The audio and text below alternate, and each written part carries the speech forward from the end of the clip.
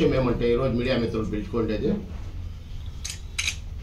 నా రాజకీయ భవిష్యత్ కార్యాచరణ గురించి మీతో డిస్కస్ చేసుకోవాలని పిలిచినాను అదేవిధంగా ఆదివారము జాతీయ స్థాయి నాయకులతోనూ నేను బెంగళూరులో సమావేశమైనాను. దాదాపు నలభై నిమిషాల పాటు వాళ్ళతో చర్చించినాను. వాళ్ళు ప్రతి ఒక్కటి ఆంధ్ర గురించి నేను ఆంధ్ర అని చెప్పేసి వాళ్ళకి పరిచయం చేసుకున్నాను.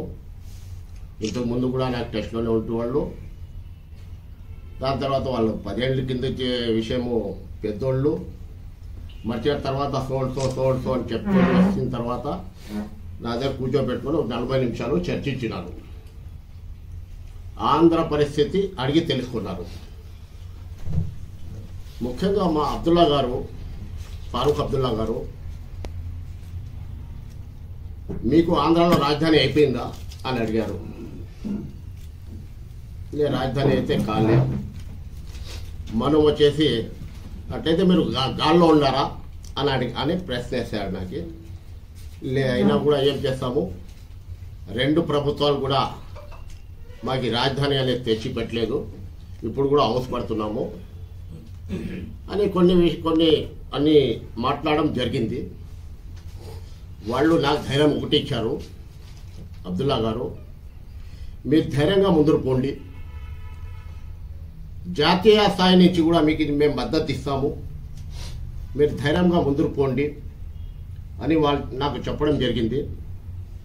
అదేవిధంగా ఇది ఫొటోస్ తీసి ఆదివారం ఒకటి వచ్చింది.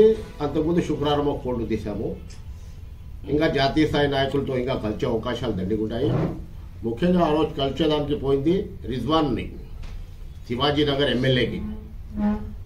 ఆయన ద్వారానే మనమంతా రాజకీయ గురించి చర్చించి ఒక ముందడుగు చేస్తామని చెప్పేసి నేనైతే ఆయనకి ఎదుర్కొని పోయినాను. బట్ అదే విధంగా ఆయన కూడా అక్కడికి వచ్చి చేరాడు. నేను నా మీటింగ్ దాదాపు అర్ధ గంట అయిన తర్వాత అబ్దుల్లా గారితో. దాని తర్వాత రిజ్వాన్ గారు కూడా వచ్చారు. రిజ్వాన్ గారితో కూడా చర్చించినాను. రిజ్వాన్ గారు కూడా మీ పేరు విన్నాను. మీ గురించి నాకు తెలుసు. బట్ మీరు ఒక్కూరి ఇంటికి రండి. షర్మిల గారికి సరిగా? వాళ్ళకంతా మేము చర్చిస్తాము. మేము ముందునే పిలిపిస్తాను మాట్లాడుకుంటాము. మీరైతే ఖచ్చితంగా ఈ తూరు బండ్లో ఉండాలా అని వాళ్ళు కూడా చెప్పినారు. అదేవిధంగా గత ఎనిమిది నెల ఎనిమిది నెలల నుంచి హిందూపురంలో వాతావరణం ఏ విధంగా ఉందంటే అలా మీకు ఫస్ట్ లిస్ట్లో మీ పేరు ఉంది మీకైతే అనవస అయిపోతుంది. మీరు దయచేసి పార్టీ గురించి నాలుగు మాటలు చెప్పి మీరు మా ముందర పడండి అని చెప్పేసి కింద స్థాయి నాయకులు కూడా ఒత్తిళ్ళు తెస్తున్నారు. అయినా నేనేమంటే రెండు వేల పద్నాలుగులో ఏ విధంగా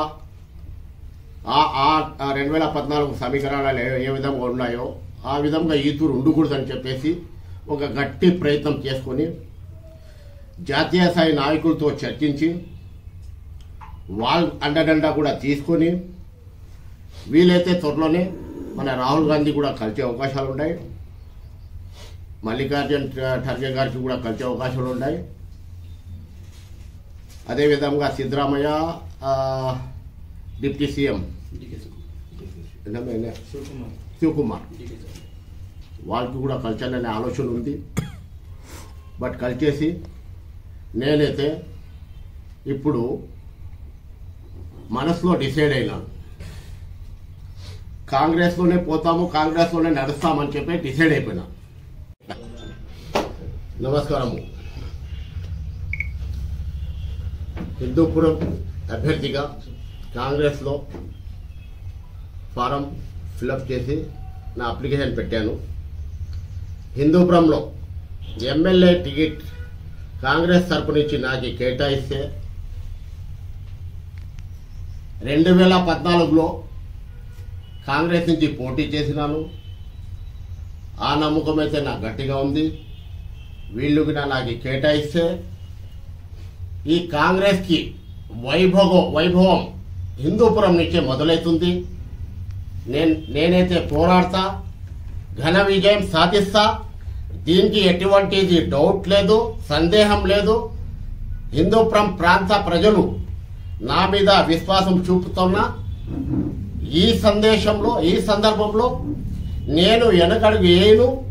నేను ముందుకు వెళ్తానని మీకు నేను మాటిస్తున్నా.